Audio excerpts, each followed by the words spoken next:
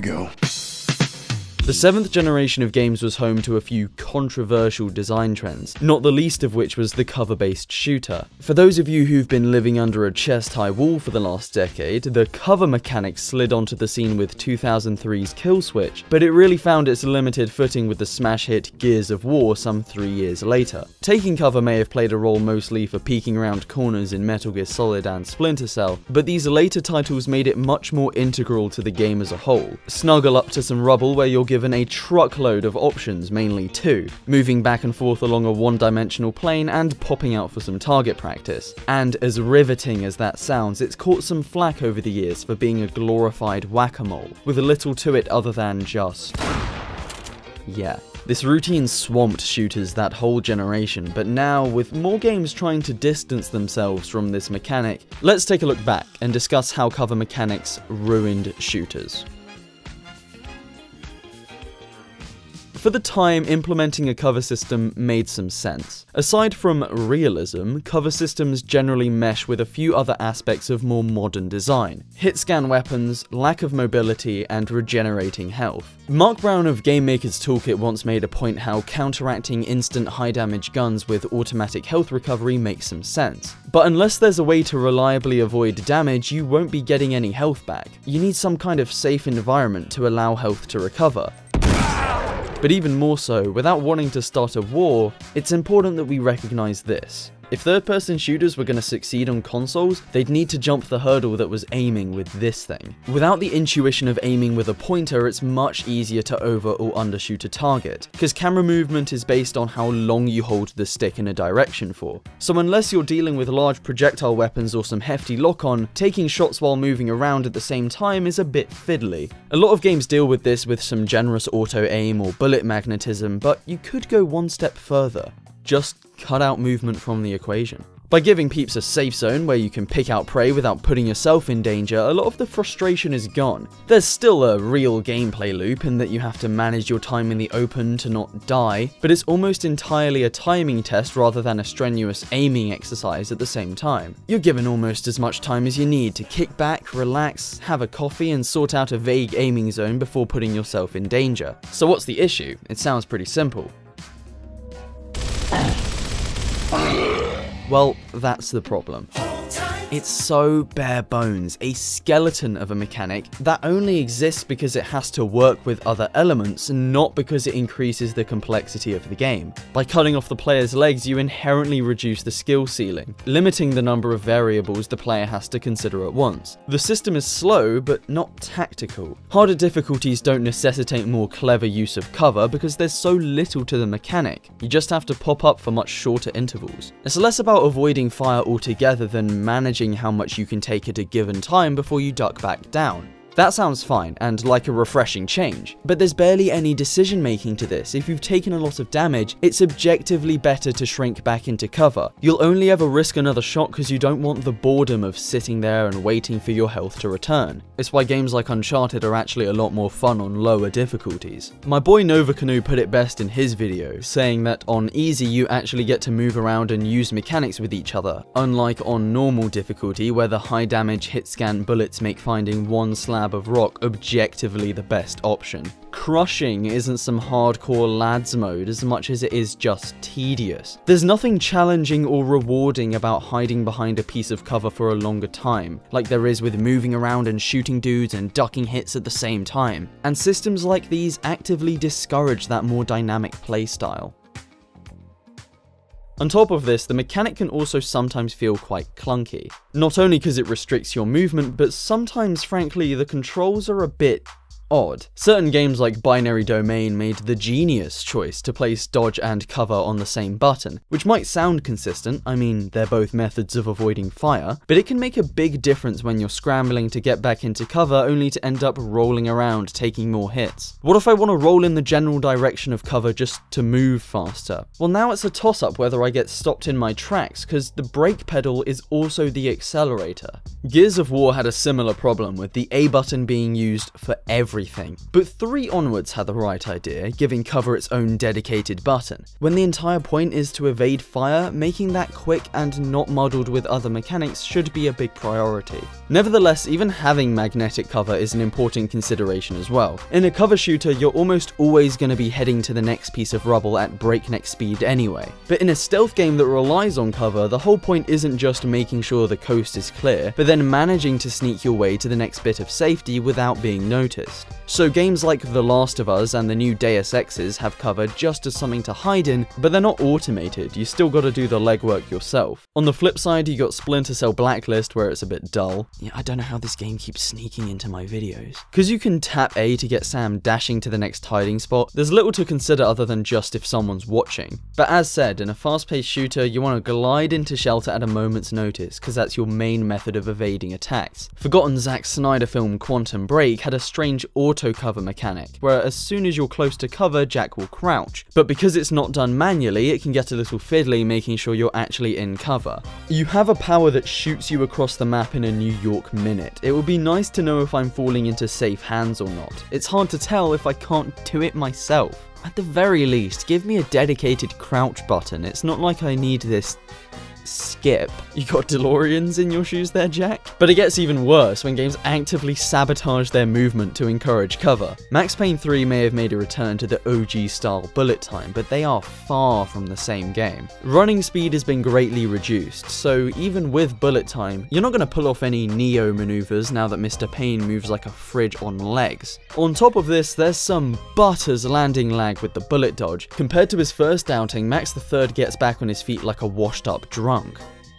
Oh god, I'm so sorry, I shouldn't have said that. No longer do fights involve frantically darting around, that's too risky now. This gimped movement means you either utilize the cover system, or memorize enemy placements to the point that you pop headshots immediately. It's not like it's just Max Payne 1, but it happens to have cover. Plugging in a mouse and keyboard doesn't magically fix this issue, because the game's been fundamentally changed to suit rote memorization or cover usage. These games are built around cover. Running and gunning is discouraged because it just isn't viable. I mean, the only way to run is often by sprinting, and you can't do that sideways like some firearms toting crab, but it's made even worse because even strafing is slower than strolling forwards. Gears, Binary Domain, and some others get around this a little bit by having an actual dodge button, as well as Gears of War's pretty rapid cover slide, and I gotta say, the way you slam into cover has a real nice thud to it. Makes it feel pretty good to get in and out of danger at a moment's notice in comparison to the slow, clunky cover of Spec Ops. But oh boy, if you want to see how over-reliance on cover can kill a game, look no further than The Order 1886. This game's much-deserved infamy is largely over its incessant attention-seeking from a cinematic story, one that would rake in as many Oscars as a real film based on a video game. But its super minimal gameplay shows just how boring this mechanic is by itself. I'd say most of these games try to compensate with some kind of neat mechanic. Binary Domain has locational damage, Gears of War has the active reload, even Spec Ops The Bloody Line has extremely simple squad commands, and sand mechanics that show up as often as a positive comment in this video. But the Order is just a cover shooter from top to bottom. Some games have just one main mechanic, but they're versatile enough to carry a title without chucking in a bunch more nonsense. But cover mechanics are restrictive by nature, so when you isolate them like this, it becomes apparent just how little you can do with it. Even being in cover is awful. You get the tightest camera angle, so your situational awareness is totally screwed. I don't need to see my guy this close. We get it. You made graphics. Hell, at least some of these games have a dodge button. Oh yeah, sorry, dodge rolls are too unrealistic for this setting, so you can only do it when a werewolf tells you to. sure, fine, it's a different kind of game. But if even the most hectic scenarios don't promote any higher skill skill or more interesting decision making than more classically designed shooters, then that argument doesn't hold much water. It's just so weird, like the whole point in cover is to get some refuge from a firefight, right? It feels like, if anything, it should be a break in the combat to catch your breath, not the gameplay. The mistake is thinking that it can carry a title alone. Very few games use it for any real advantage. I'd say that we've got to be able to do better, some way to take this and improve. But goddamn it, we can, because there's a certain game called Vanquish.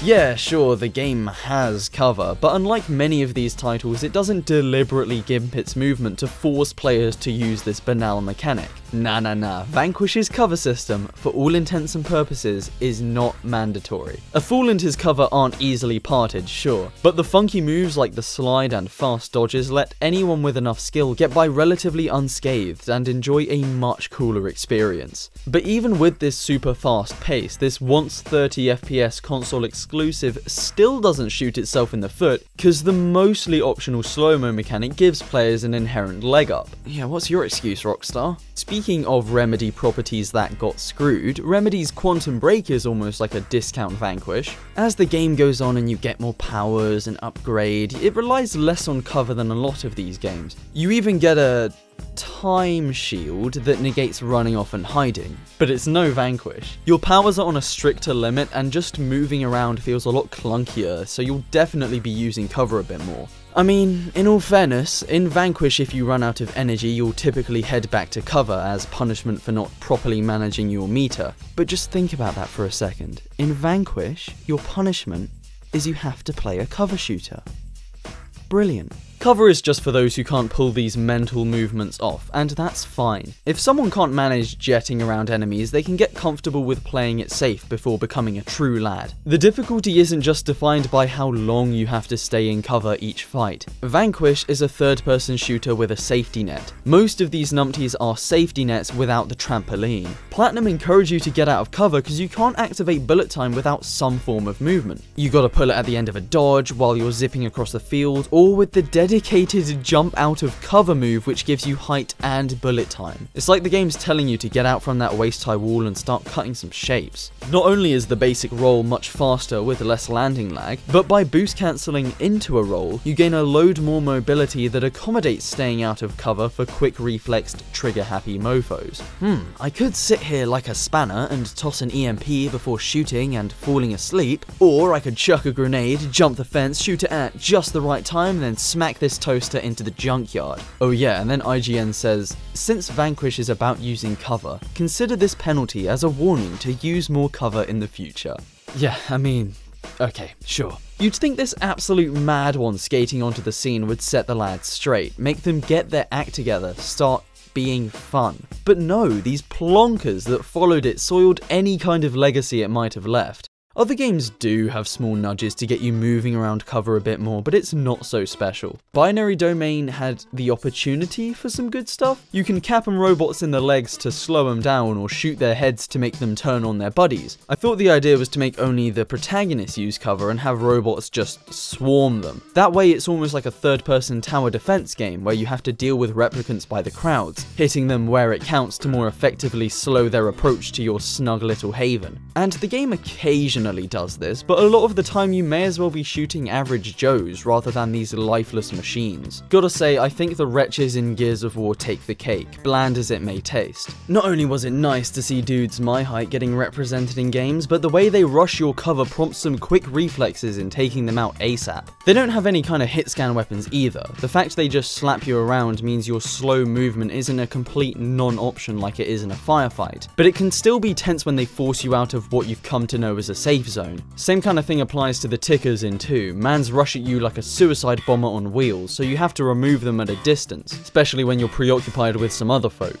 Spec Ops sort of has the reverse, where occasionally you need to bite the bullet and make a dash. Ammo's pretty scarce in Dubai, so sometimes you gotta bum rush and pick up a down foe's weapon and then get back into cover to start pulling your weight again. But with Spec Ops' clunky movement and very patient weapon pickup, this is much more tedious than it is fun. Oh, but Turbo, that's the point! Nah, you're chatting breeze. So while this may not be as sick as your options in Vanquish, I do prefer it to the grenades method Uncharted used before it started experimenting with loads of destructible cover in A Thief's End. It's a consistent threat you have to deal with rather than just a prompt to move to your nearest cover and keep doing the same old business. And then Drake's deception comes in all like, okay fine, grenades are a bit shallow, how about we just spawn enemies behind you, that will get you out of cover. But I mean, that's just...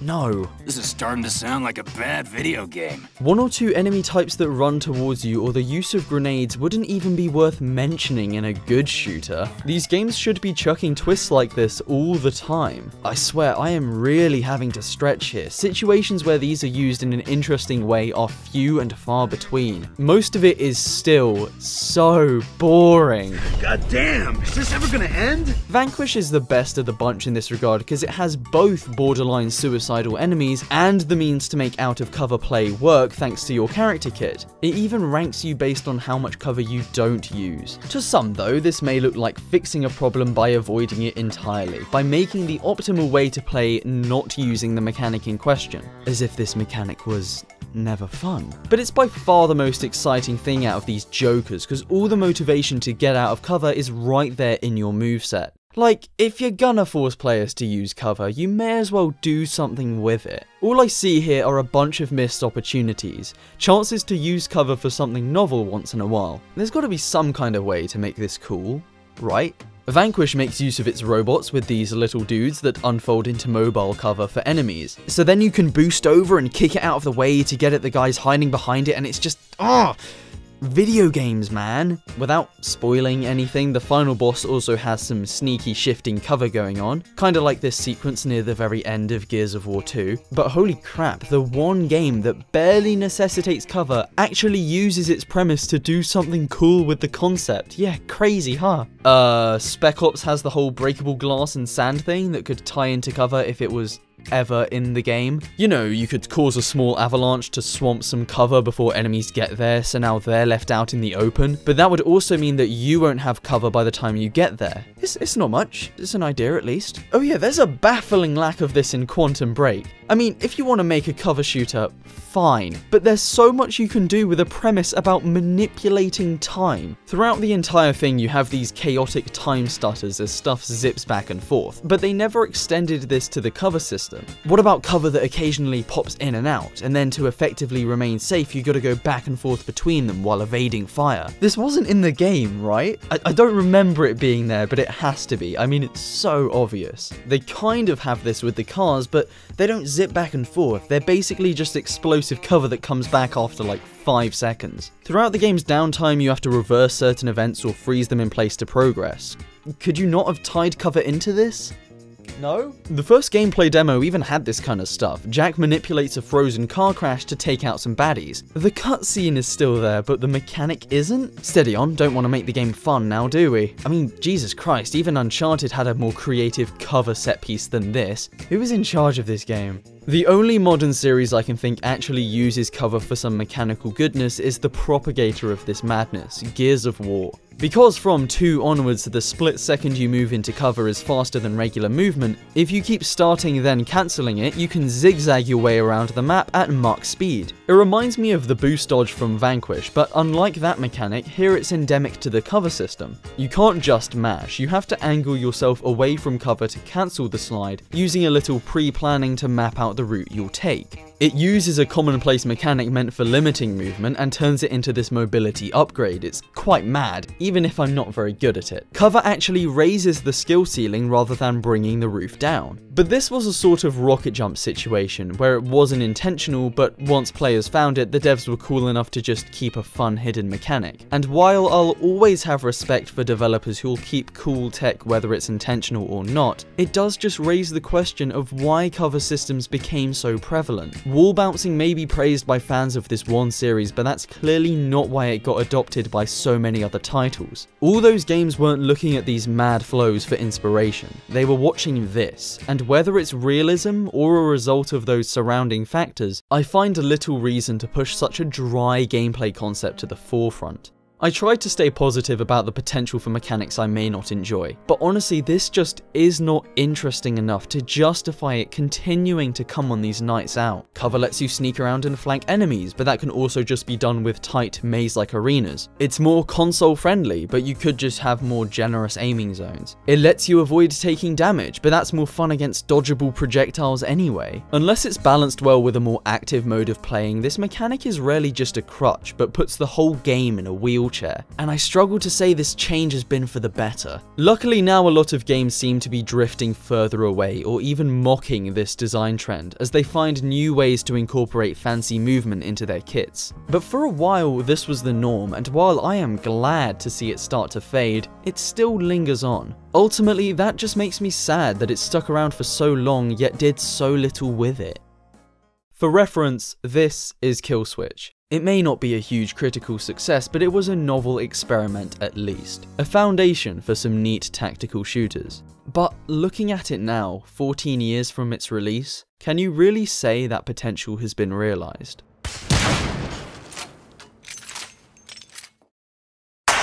Big shout out to all my supporters on Patreon for being a huge help with this video. These cheeky lads down below are the lovely $5 backers who play a big part in making larger videos like these possible. I struggled quite a bit with this script, so I also want to thank the YouTubers who offered to read through my script and, you know, tell me I was on the right tracks. I'll put them in the description too, so check them out. It's better than checking out, you know, Gears of War.